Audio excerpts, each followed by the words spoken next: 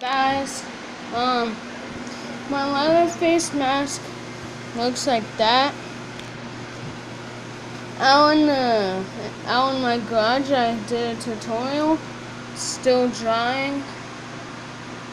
Inside looks like that because when he cuts the faces off, so it looks pretty real in my opinion, of course. So yeah, that's basically it. So I did this because it, it looked like you guys couldn't see well outside. So yeah, that's basically it. So bye.